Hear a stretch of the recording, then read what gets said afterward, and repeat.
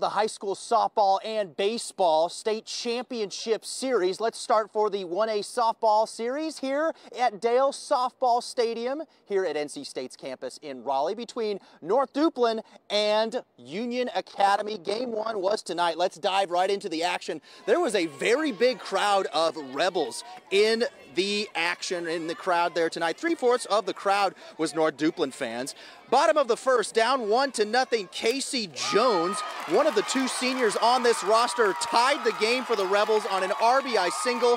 One to one now. Second inning we go. Union Academy up 2-1. Rebels trying to get more, but check the diving snag by Union Academy's Riley Griffin. What a play. As the full moon started to rise over the stadium, North Duplin would strike back. Addie Higginbotham hits a line drive into left. That gets down and scores the tying run at two apiece in the second inning. We've got a game in this one, but top of the third, here come the Cardinals. Gabby Gamma deep into for Union Academy. That gets down and scores three runs for the Cardinals to, to take a lead, five to two at that point. Fifth inning we go.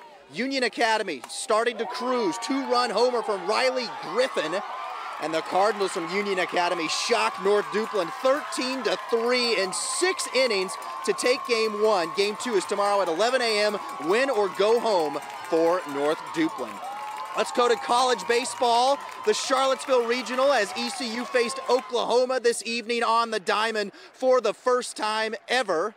Ace Trey Yesavage got the start on the mound five innings pitched, seven strikeouts, gave up four hits and one run. Five to nothing Pirates in the fourth. Justin Wilcoxen, a two-run bomb out to right field. That made it seven to nothing ECU at that point. Then next inning, Carter Cunningham tacks on even more. Deep to right, that gets down at the warning track to score two more for the Pirates.